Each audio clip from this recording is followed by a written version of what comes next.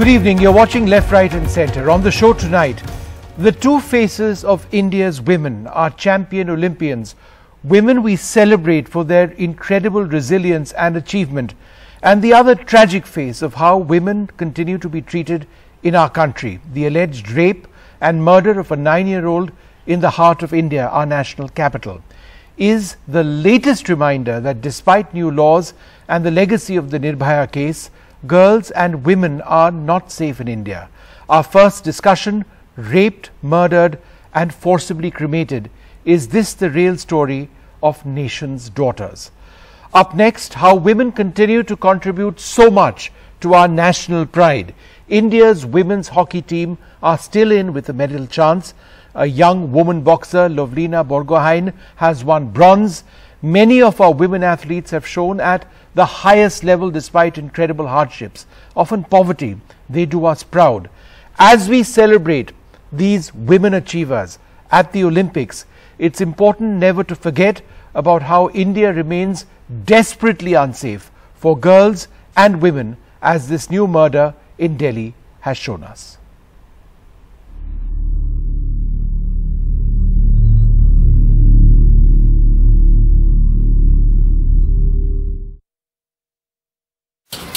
A small rented room less than 50 square meters in southwest Delhi has become the center of a media storm. This is where a nine-year-old girl lived, played and helped her parents with chores. She was sent by her mother to collect water from the water cooler at the nearby crematorium. Both her parents are scrap collectors. They rely on meager earnings by begging at the nearby dargah and could not afford to send their only daughter to school They had been trying to save up for her birthday coming up in December. Her devastated mother told NDTV how she went looking for her daughter that Sunday evening, where she didn't return for over an hour. The priest, 55-year-old Radhe Shyam, forcibly burned her daughter's body in front of her eyes. She was the only one to see the victim's body. अपने समाज भैया के पास में आ रही थी खींच के gate का तारा लगा दिया गेट का तारा लगा के हम बंद कर दिए थी तो हमारी आवाज़ निकल नहीं दी बिल्कुल मुलाम हाथ पैर। और इसके होठ थोड़े काले पड़ रहे थे। हाथ में थोड़ा यहाँ निशान था। एक हाथ में खुरसाट आ रही थी खाल से उपट गई थी। आज इनको कोई घटना हो जाए तो आप मेरे बच्ची का न्याय चाहिए मुझे न्याय जल्लादों को फांसी लगनी चाहिए। एक कमरा में मैं बंद कर देती एक में एक कर दिए थे जैसे आए थे दो पुलिस वाले ऐसे ठाड़े दो पुलिस वाले ऐसे ठाड़ी थी इनमें लाती लात बजाई थी मेरे को आँख लिखा रहा मुझ पे दबाव डाल रहा It was around 1:30 a.m. at the night. At that time, we could uh, uh, get the mother. Uh, we brought her to police station and uh, we got counselor also. In front of her, her statement was recorded. It is not that we, we, we kept them illegally or something like that. It was just procedural. We had to do it. okay. Uh, you are calling it next day, but actually it was the same day. Okay, she's saying five, but I don't know. I, you uh, you can ask her. The police have charged the priest Radhe Shyam and three crematorium workers with rape and murder under the Child Protection Act and the Scheduled Caste Atrocities Act. Congress leader Rahul Gandhi and Delhi Chief Minister Arvind Kejriwal came to meet the family today. The Delhi government has promised the family a compensation of 10 lakhs. The media and political attention around this case has become overwhelming for the victim's family, who are inconsolable. They want capital punishment for all of the accused. With Sanjay Kaushik, Meher Pandey for NDTV. Well, joining us now, Sunita Krishnan, the founder of Prajwala. We're also joined by Khushbu Sundar. And uh, I'd like to thank you both very much. Uh, and we're also joined by Shama Mohammed at this stage. I'd like to thank you very much for being with us. Sunita Krishnan, let me come to you first. Um, it's, it's so shocking that this would happen um, in the heart of our national capital, and we see it time and time again that despite new laws, strong laws, the entire legacy of Nirbhaya, uh, attacks like this continue with impunity. Is this a failure of, of, of, of political parties? Is this a failure of policing? Vishnu, first of all, I would like to say this is absolutely disgusting. Um, disgusting, not just the alleged rape and murder. Disgusting that every year we sit like this, you know, on national TV and talk about such cases. Meaning, when are we going to stop talking about these cases and when will these cases end? Somewhere we have failed miserably, uh, creating deterrence by effective uh, criminal, uh, you know, justice delivery. We have uh, failed miserably in changing the male mindset about women and children, their That's, bodies. that's just the key What point. have- That's just the key But point. what we have succeeded, Vishnu, is creating a world of impunity and a huge politicization around. No, in fact, That's all that. No, that's so right. And you know, Shama joins us. She's from the Congress party. But I think the question that really needs to, to, to be asked, and this goes beyond Aam Aadmi, BJP, Congress, Shama, is um, the, the, culture of, uh, of, of impunity which exists in India when it comes to attacks on women, on children, the belief that you can get away with a rape, a murder, and a cremation in the manner in which we've seen now, that, that indicates a certain sick mentality. Um, how does that get corrected? I mean, who corrects that? Because nothing, any law, uh, you know, which is published, eh, nothing seems to have changed. Vishnu, this can be corrected by conviction. We don't convict people. I mean, we had. Uh, I'm sorry, I'm here. But you know, we have. Vishnu, can you hear me now? Yeah, yeah, go ahead. Yeah, there's a bit of an. echo. Now, I- what I would like to say is that we need conviction. We had the we passed the Nirbhaya Act. We said know, it has to. Be, uh, they should be. The cases should be fast. Conviction should happen fast. You know, but those things are not happening. The Nirbhaya Fund is lying with it. And also, they say that you can't politicize. Look at what is happening right now. I mean, we Okay, have had Khushbu, I need to fix your. Uh, I, sorry, uh, uh, yeah, Shama, I need to uh, to fix your sound. It's coming and going. I'll come back to you. Khushbu, would you like to uh, to to sort of come in on that point? That you know, no matter what laws you have in this country, the sick mindset of of men when it comes to targeting women, children. A nine-year-old is, a, is is so young and destroying their lives continues, and we keep discussing it. So what do we need to fix as a society, as a country? It's very painful, uh, Vishnu, that every time, like Kavita said, we come in front of the television, we discuss this problem, not today, not tomorrow, it'll go on. We have done it in the past, we're going to do it in the future. And this will very unfortunately continue until and unless we have a very, very strict laws. People No, but to we do have law. laws. That's just the point, and that's No, what makes it so unfortunate. After Nirbhaya and, and with. Justice Verma and the new laws, Khushbu against rape, these are extremely strong laws. You can say it's an issue of implementation, but would you not say not it's this mindset fear. which is not changed? It is the mindset. It is the mindset, but these laws haven't instilled the fear in them. In So it's not the laws, because It there can be the death sentence has now. It has to. Inst- no, it you. They have to fear the laws, the mindset, the way they are. So how raised. does one make that connect between the law which exists and, and the possibility of a death sentence, right?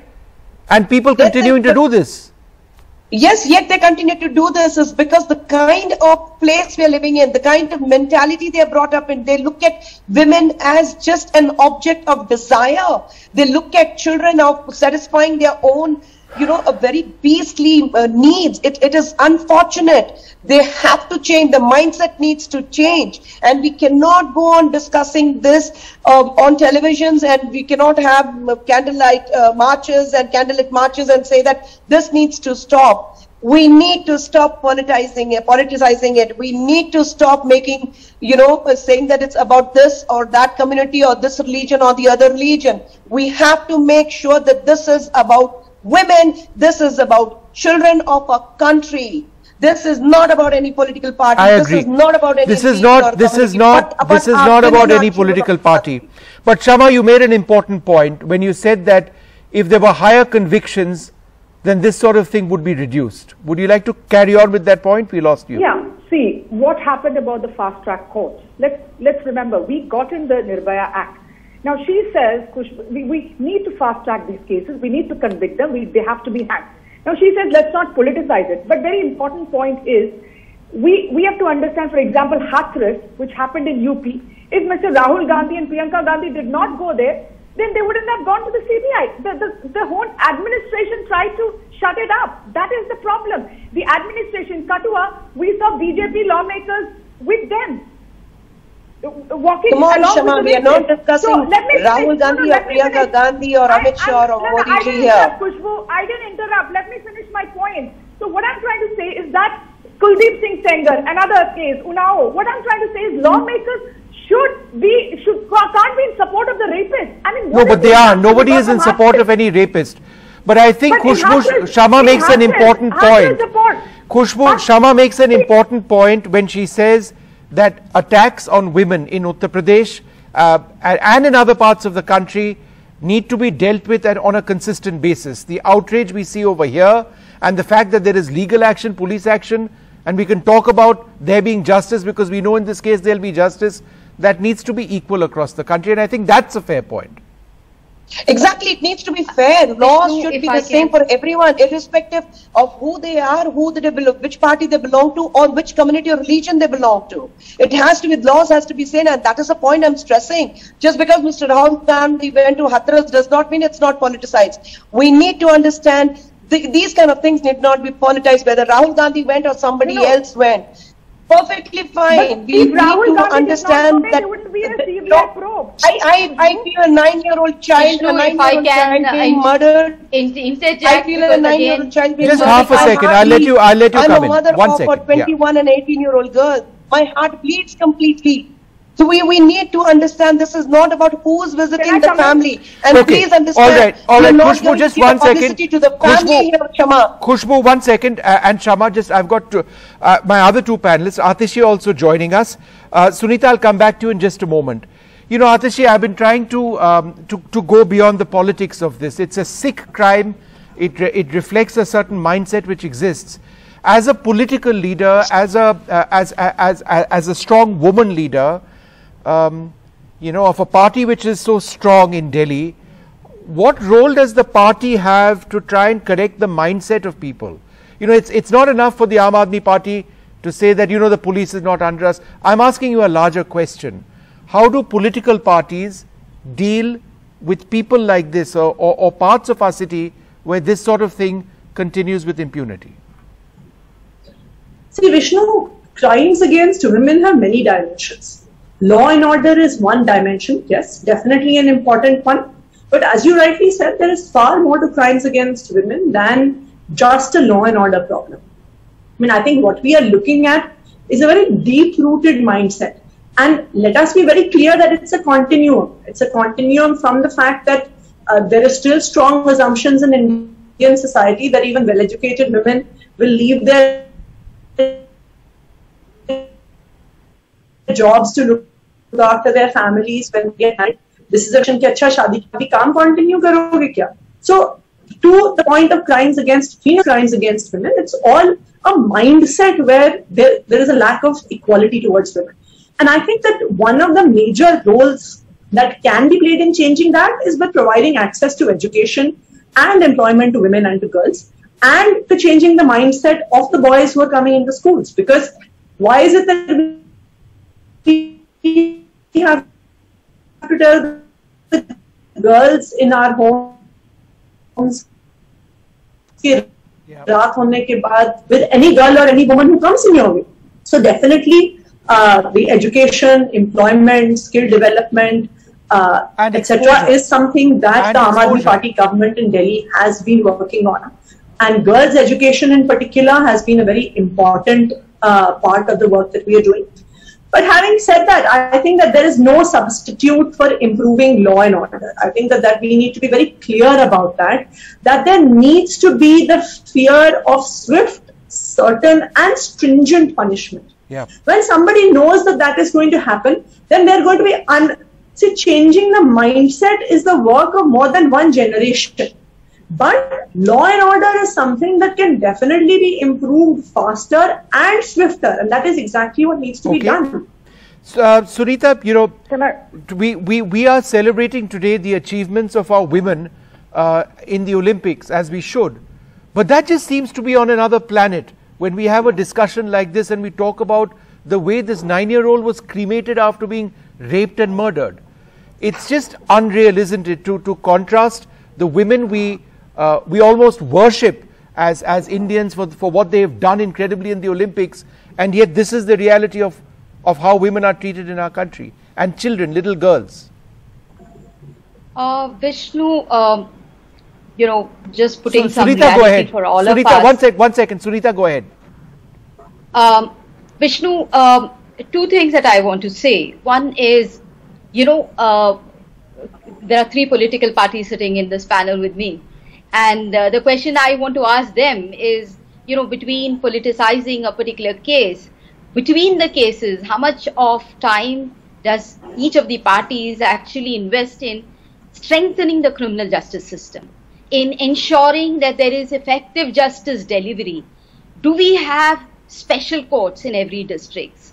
Or do we still work with designated courts where there are no judicial officers, there are no prosecuting officers? There are cases of four year old ch- child's rape cases in several parts of South India that I'm working in, which is going on for the last seven or eight years. Hmm. Now, it is not the stringent punishment that brings in deterrence, it is the certainty of punishment in time bound manner. Now, I'm asking all the political parties sitting here what have you done to strengthen the criminal justice system of the country? How many protest rallies have you taken to just bring in special courts for children and make it ensure that every child's case gets over in that one year period that is as per the law? We don't have a dearth of law. What we have is non implementation of law because the entire criminal justice system is failing. And Yeah. that is what we need to question each other Yeah. we have to answer this nine year old child. Whether No. she was raped, murdered, whatever investigation will say. But her death is on, on all of our heads, and we need to answer that. No, I agree, and Yes. I'd like to. I, No, can I come in? I, I Can agree just come in with completely. one No, point? I, I need to wrap this up I at this stage. no, I just- but I think she raises some important uh, points, uh, does Sunita over there. Perhaps time for us to reflect uh, on, on that reality of how effective our laws actually are. Well, joining us, uh, Nikhil Naz. Nikhil, thanks very much for being with us. It's been a truly outstanding achievement by women athletes this time around. And I think um, the point which we'd like to stress is that a lot of women, for example, uh, Lovlina, who we saw over there, have risen from relative poverty. They have overcome the odds to succeed at the highest level. This is perhaps one of the most inspirational stories in Indian sport. Absolutely. You you spoke about uh, Lovlina, the way she uh, fought today, Vishnu. I mean, she was up against the world number one, but you know, she fought toe to toe when it came to you know fighting such a strong boxer. Would you talk about these stories? You know, there's a saying in Indian sport uh, that you know the Indian medalists don't win a medal because of the system; they win it despite the system. Right. But if you were to if you were to look at our Indian women, they have to cross all the other hurdles that the male athletes have to. But there's an additional hurdle that they have to cross, and that is of patriarchy. That is of you know stereotyping that they have to fight and fight that glass ceiling. I'll give you a few examples from the hockey team, Vishnu, and that will just sum up what you know Indian women have achieved.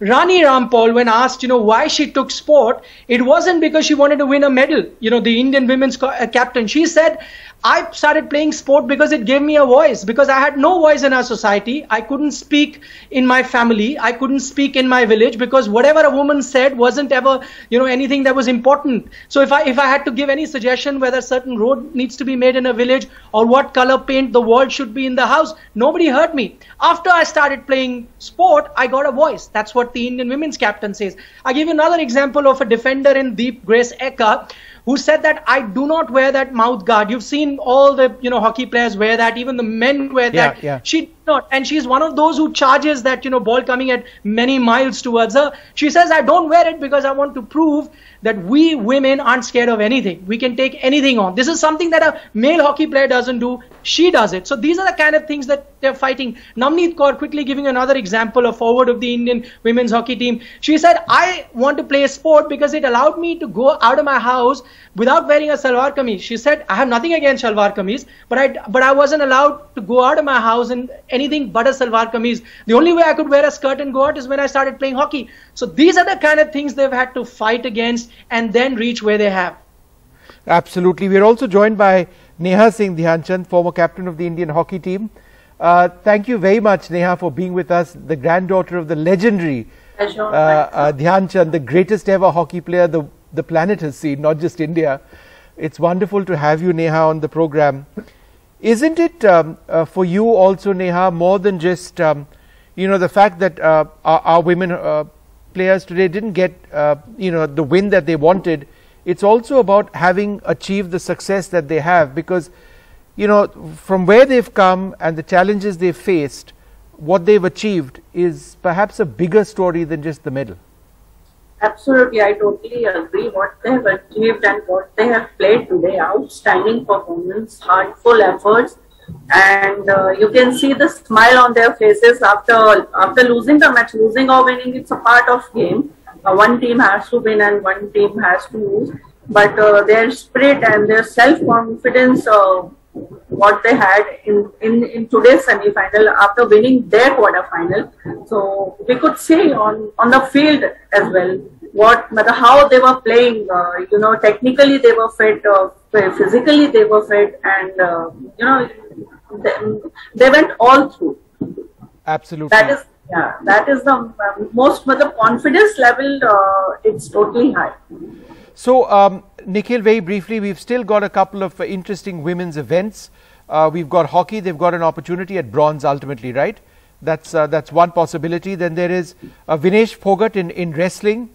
And then there is Anshu Malik as well, uh, if yeah. she qualifies for a bronze medal match. So, our women are really outshining uh, the, the men this time around.